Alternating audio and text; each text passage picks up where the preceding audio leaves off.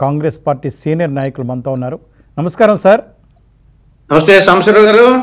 Sir మరి మనం దాదాపు మరి మీరైతే నలభై సంవత్సరాల పైచిలుకు రాజకీయాల్లో ఉన్నారు. ఎన్టీ రామారావు గారు అంత గొప్ప వ్యక్తి దగ్గర మీరు రాజ్యసభ సభ ఉన్నారు గండిపేటలో పనిచేశారు.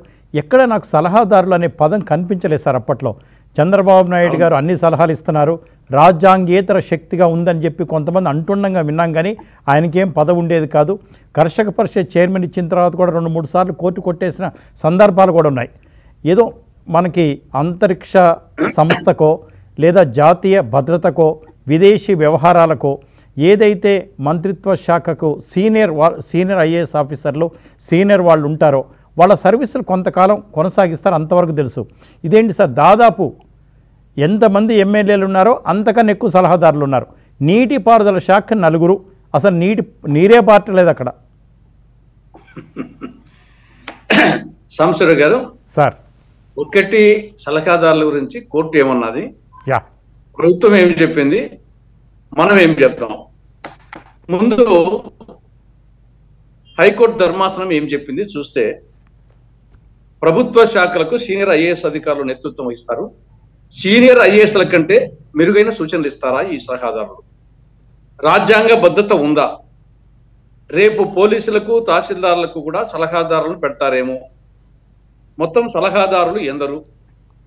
వారి నియామకానికి విధి విధానాలు ఏమిటి? అర్హతలు ఏమిటి?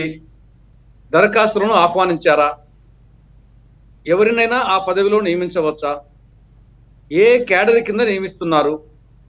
ఏ ప్రాతిపదికన జీతభత్యాలు చెల్లిస్తున్నారు? ఎంతమందినైనా తీసుకోవచ్చా? దీనికి అడ్డు లేదా? బడ్జెట్ కేటాయింపులు ఉన్నాయి వీళ్ళకు? ఇది నిన్న హైకోర్టు ధర్మాసనము సంధించినటువంటి ప్రశ్నలు వ్యాఖ్యలు. దీనికి రాష్ట్ర ప్రభుత్వం తరఫున ఏజీ చెప్పింది ఏమిటి? గతంలో కూడా ఈ సలహాదారుల నియామకం ఈ సిస్టమ్ ఉంది. పదవీ విరమణ చేసిన ఉద్యోగులు అనుభవజ్ఞులను సలహాదారులుగా నియమించుకునే సాంప్రదాయం ఉంది అని చెప్పేసి ఏజీ చెప్పడం జరిగింది. ఇక్కడ మీరు చెప్పినట్లు చాలామంది ముఖ్యమంత్రుల హయాంలో సలహాదారులు ఒక్కరు కూడా లేని సందర్భాలు అనేకం ఉన్నాయి. కొన్ని సందర్భాల్లో ఒకరో ఇద్దరో ముగ్గురో రాజశేఖర రెడ్డి గారి పీరియడ్ కానీ చంద్రబాబు నాయుడు గారి పీరియడ్ కానీ ఒకరో ఇద్దరో ముగ్గురో వాళ్ళు కూడా రియల్ ఎక్స్పర్ట్స్లో రియల్ ఎక్స్పర్ట్స్గా ఉండేవాళ్ళు.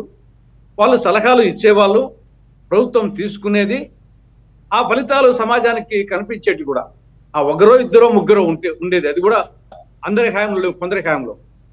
కాబట్టి నిజంగా అప్పుడు ఆ లిమిటెడ్ సలహాదారులు వాళ్ళు నిజంగా సలహాదారులుగానే కనిపించేవాళ్ళు. కానీ ఇప్పుడు జగన్మోహన్ రెడ్డి గారి పాలనలో వీళ్ళను సలహాదారులు అనే బదులు స్వాహాదారులు అంటే బెటర్గా ఉంటుంది. సలహాదారులు కాదు స్వాహాదారులు. నిజంగా ఆయనతో ఇంతో సలహాదారు వచ్చేసి కె. రామచంద్రమూర్తి గారు. నిజంగా ఆయన సలహాలు ఇచ్చే కెపాసిటీ ఉంది. ఆయన ఆ పరిస్థితి చూసి సలహాదారు వచ్చేసి ఆయన తీసుకోవడం మనసుకు ఇష్టం లేక సలహాలు ఇచ్చే పరిస్థితి లేదు తీసుకునే పరిస్థితి లేదు వినే పరిస్థితి లేదు. కలిసే పరిస్థితి లేక ఆయనే దాని పదవికే రాజీనామా చేయడం జరిగింది. కాబట్టి నిజమైన సలహాదారు అయినటువంటి రామచంద్రమూర్తి రాజీనామా చేశాడు. మిగతా స్వాగతారులు మాత్రము దాంట్లో అట్టే కొనసాగుతా ఉన్నారు. నెలకు దాదాపు ఆవరేజ్గా ఫోర్ టు సిక్స్ ల్యాక్స్ నెలకు ఐదు లక్షల రూపాయలు ప్రజాధనం. ఇది ఒక విధంగా వైకాపా నాయకులకు కార్యకర్తలకు ఉపాధి హామీ పథకం. వైకాపా నాయకుల కార్యకర్తలకు సాక్షిలో పనిచేసే వాళ్ళకు అక్కడ జీతాలు లేకుండా ఇక్కడ జీతాలు ఇవ్వడము. కొందరికి వచ్చేసి ఇది ఉపాధి హామీ పథకం.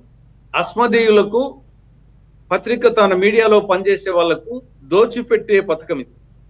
ఇది ఖచ్చితంగా అధికార దుర్వినియోగం. వీళ్ళు రాజ్యాంగేతర శక్తులు. ఇది మరొక వైపు వచ్చేసి రాష్ట్రం ఆర్థిక సంక్షోభంలో కుట్టుమిట్టాడుతా ఉంది. ఉద్యోగస్తులకు జీతాలు ఇచ్చే పరిస్థితి లేదు. విశ్రాంత ఉద్యోగులకు పెన్షన్లు ఇచ్చే పరిస్థితి లేదు. కాంట్రాక్టర్లకు పెండింగ్ బిల్లు ఇచ్చే పరిస్థితి లేదు. హాస్టల్లో ఆకలికాయలు వినిపిస్తున్నాయి. అనేక ప్రభుత్వ కార్యాలయాలకు బాడిగలు ఇచ్చే యువక ఈవెన్ వైకాపా నాయకులే తాళాలేసే పరిస్థితి ఉంది. ఈ పరిస్థితి ఉంటే ఇప్పుడు ఈ విధంగా స్వాహాదారుల పేరుతో ప్రభుత్వ ధనాన్ని దుర్వినియోగం చేయడం అనేది ఖచ్చితంగా ఇది దుర్వినియోగం అధికార దుర్వినియోగం ఆర్థిక దుర్వినియోగం ఏదో అంబలి తాగేవానికి మీసాలు ఎత్తేవాడు కూడా అన్నట్టు ఉంది పరిస్థితి. వాడు దిక్కులాగా వాడే అమలు తాగుతున్నాడు మళ్ళా అమలు తాగేవానికి మీసాలు పైకెత్తేవాడు కూడా. గవర్నమెంటే వచ్చేసి ఆర్థిక సంక్షోభంలో ఉంటే దానికి మళ్ళా సలహాదారులు. కాబట్టి ఇది ఏ కోణంలో మింగ మెత్తుకులేదు మీసాలకు సంపంగా అన్నట్టుంది. అత్త అల్లుడు దానం చేసినట్లుంది.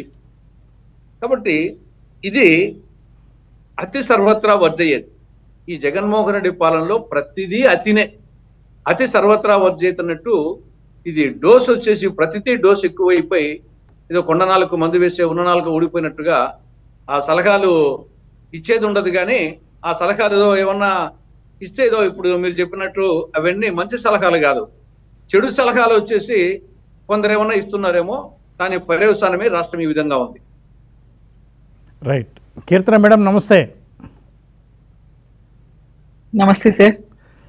ఇప్పుడు మరి ఎవరు సలహాలు ఇస్తే మరి చంద్రబాబు నాయుడు గారి పర్యటనని అడ్డుకుంటున్నారో ఎవరు సలహాలు ఇస్తే ఆ చీకటి జీవోలు తెచ్చారో ఎవరు సలహాలు ఇస్తే రా జీవోలు వచ్చిన తర్వాత కూడా జగన్మోహన్ రెడ్డి గారి సభలు కానివ్వండి బొత్స సత్యనారాయణ గారి సభలు కానివ్వండి నిన్న రాజమండ్రిలో కానివ్వండి రోడ్డు మధ్య భాగంలో రోడ్డు మధ్య భాగంలో వాళ్ళు మరి అన్నీ చేసుకున్నారు కుర్చీలు వేశారు టేబుల్స్ వేశారు. కానీ వైసీపీ పోలీసులకు మాత్రం అది కనిపించట్లేదు. ఐఎమ్ సారీ టు సే పోలీసులు ఏపీ పోలీసులు కాదు వై